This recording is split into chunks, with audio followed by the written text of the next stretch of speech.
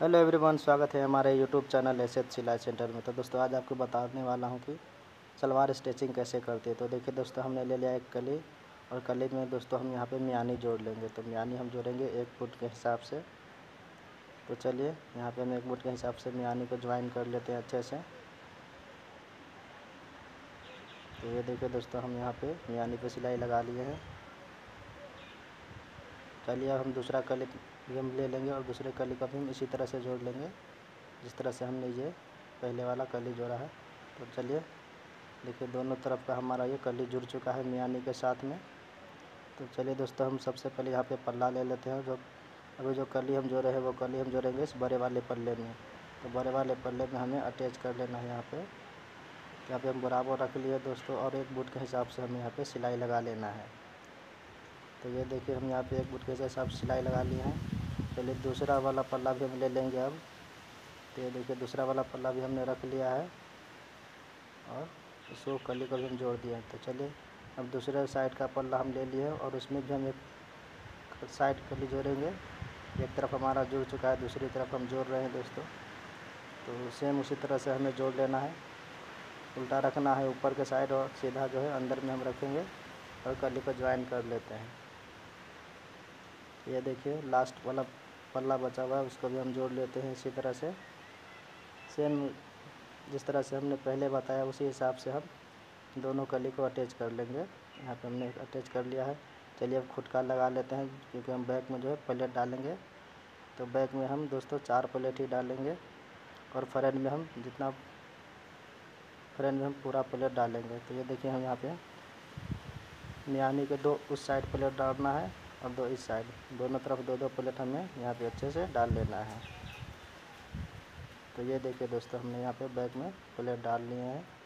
चलिए अब यहाँ पे हम बेल्ट को बना लेते हैं। तो बेल्ट बेल्ट का हम सबसे पहले डेढ़ दो इंच पे हम सिलाई लगा लेंगे। क्योंकि इसमें हम जो नारा डालेंगे तो आधे इंच हम फिर हम ऊपर छोड़कर और हम पूरा सिलाई लगा लेंगे, एक बूट के हिसाब से।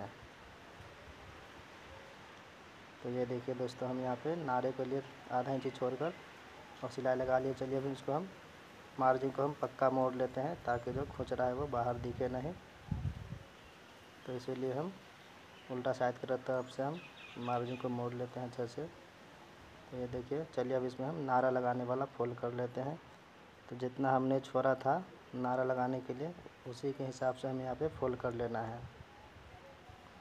और डेढ़ इंच के हिसाब से हमें पूरे को अच्छे से फोल्ड कर लेना है, ताकि नारा आप आसानी से लगा सकते हैं। आपको लगाने में कोई दिक्कत ना हो। तो ये देखिए, आप अपने हिसाब से जितना आप दबाव रखते हैं, उसी हिसाब से आप मोड़ सकते हैं। हम यहाँ पे डेढ़ इंच का दबाव लिए हैं तो डेढ़ इंच के हिसाब से ही मोड़ लेते हैं। तो ये देखिए दोस्तों, फाइनल बन चुका है। चलिए, अब बीस सेंटर से हम पकड़ कर एक खुटका लगा लेते हैं, क्योंकि इसमें हम लगाएँगे, पॉकेट लगाएँगे बेल्ट में। तो ये देखिए दोस्तों, सबसे पहले हम यहाँ पे बेल्ट को हम अब कर लेते हैं सीधा। सेंटर से सेंटर बेल्ट को हम मिला लेंगे। ये देखिए दोस्तों, और यहाँ हम दाहिने साइड की तरफ़ से हम यहाँ पे पॉकेट के लिए नीचे खुटका लगा देते हैं। ऊपर हम आधा इंच छोड़कर हम खुटका लगाएँगे सिलाई से, और नीचे भी हम आधा इंच ही छोड़कर हम खुटका लगा लेते हैं। फिर उसको हम बीच से हम काट देंगे। और इसको हम अच्छे से हम फोल्ड कर लेंगे पतले, बारीकी से, ताकि जो पॉकेट का जो मुँह अच्छे से बन जाए। तो चलिए हम यहाँ पे इसको फोल्ड कर लेते हैं। एकदम पतला सा फोल्ड कर लेना है आपको भी इसी तरह से। ध्यान रखें कि जब भी आप पॉकेट लगाएँ तो दाहिने साइड में ही लगाएँ। तो ये देखिए दोस्तों, हमने यहाँ पे दोनों साइड का फोल्ड कर चुके हैं। तो चलिए दोस्तों, अब दोनों साइड में हम थोड़ा फिनिशिंग दे देते हैं पॉकेट में। तो इसको हम यहाँ पे थोड़ा इसको दबा देंगे, जो हमने फोल्ड किया है, और हल्का सा हम यहाँ पे पॉइंट दबा देंगे ताकि जो है अच्छे से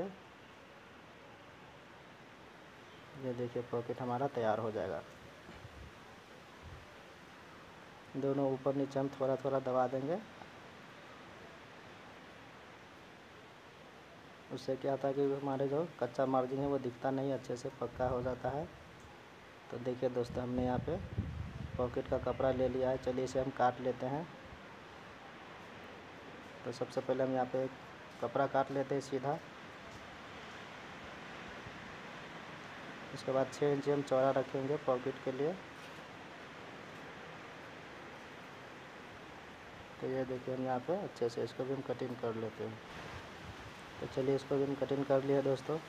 और इसका हम लंबाई नाप लेंगे तो लंबाई छः इंच हमने नीचे रखा है पॉकेट के लिए, और छः इंच ऊपर पूरा हम बारह इंच का हम तैयार रख लिए हैं। तो इसको हम कच्चा कर लेते हैं पॉकेट को दोनों साइड से, और इसे हम अच्छे से हम पलटी कर कर, और फिर हम पलटी कर कर भी एक बुट के हिसाब से हम अच्छे से कच्चा कर लेंगे, ताकि हमें पक्का करने में कोई दिक्कत ना हो और आसानी से पक्का हो जाए। और ये देखिए पॉकेट पे हमने भी सिलाई लगा लिया है। तो चलिए दोस्तों, अब आपका पॉकेट लगा कर बताते हैं। तो ये देखिए दोस्तों, हमने यहाँ पे अच्छे से कच्चा कर लिया है, फिर उसके बाद हम पक्का कर लेते हैं। पक्का हमें ऊपर करना है अच्छे से। यहाँ पे जिस तरफ़ हम नारा वाला सिलाई लगाएँ, उस तरफ़ हमें ध्यान रखना है कि ऊपर नहीं चढ़ पाए, इसीलिए हम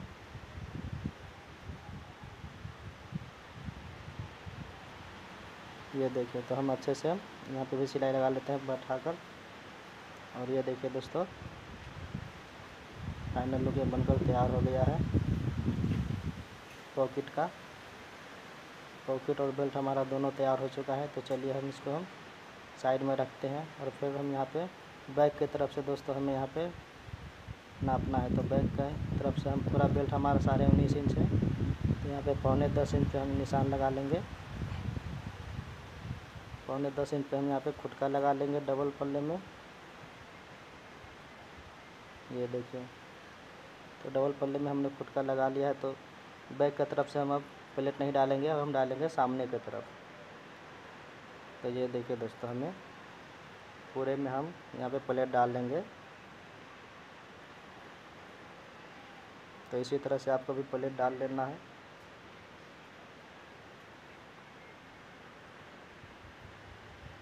ये देखिए दोस्तों हम, अच्छे से प्लेट आप दोस्तों ध्यान रखना आपको कि पल्ले में जवाबी प्लेट आप ज़रूर लगाएँ। पहले खुटके से हम मियानी तक एक तरफ़ खुट प्लेट डालेंगे, फिर हम मियानी से दूसरे मियानी से हम शुरू करेंगे तो आगे की तरफ़ प्लेट डालेंगे ताकि ये जो अच्छे से जवाबी प्लेट डल जाए। जब भी आप सलवार बनाइए तो उसमें जवाबी प्लेट ही डालिए।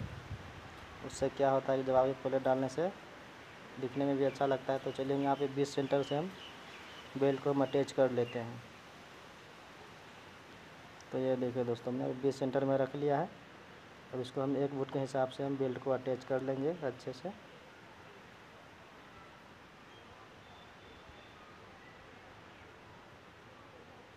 तो ये देखिए दोस्तों, हमारा ये बेल्ट बहुत ही फिनिशिंग के साथ हमारा अटैच हो रहा है।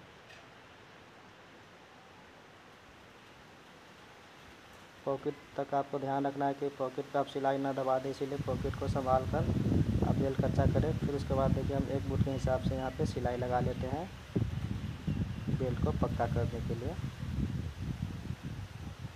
तो ये देखिए दोस्तों, हमने यहाँ पे सिलाई भी लगा लिया एक बुट के हिसाब से। चलिए तो हम यहाँ पे बुकरम ले लिए दोस्तों, जो हम मोहरी के हम डिज़ाइन बनाएँगे। तो बुकरम का जो चौड़ाई, वो हमें तीन इंची ले लेना है और लंबाई हमें जितना हम सलवार का दामन है उसी हिसाब से हम लंबाई रख लेंगे। तो चौड़ा दोस्तों, हम यहाँ पे तीन इंची बकरम ले लिए हैं और इसे अच्छे से कपड़े में अटैच कर लेना है क्योंकि जो हम बकरम में जो सलवार में जो मोहरी लगाएँगे, वो हम बढ़ती लगाए, बढ़ती नहीं लगाएँगे, वो अलग से हम लगाएँगे कपड़े का।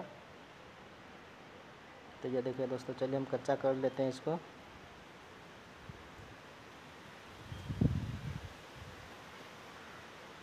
देखिए दोस्तों, हमने कच्चा कर लिया है। चलिए अभी इसे हम एक बुट के हिसाब से हम पहले सिलाई लगा लेते हैं ऊपर से। एक बुट के हिसाब से सिलाई लगा लिया है। चलिए, अब इसको हम पक्का कर लेते हैं बुकरम को। तो हमने बुकरम का भी हमने पक्का कर लिया है। अब हम एक बुट का सिलाई और लगा लेंगे ताकि हम अच्छे से और लब का भी सिलाई हम लगा लेंगे।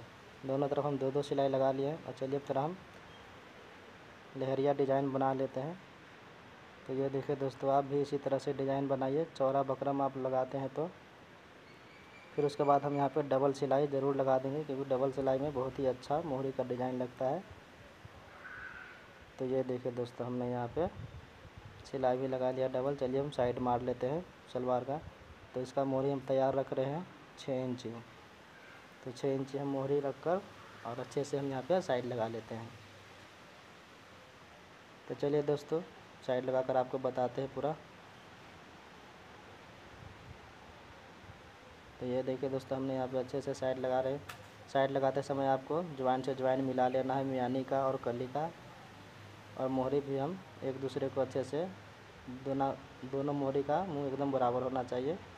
तो चलिए दोस्तों फाइनल लुक बनकर तैयार हो गया। वीडियो अगर अच्छा लगा हो तो एक लाइक कर दीजिए। अगर आप चैनल पर पहली बार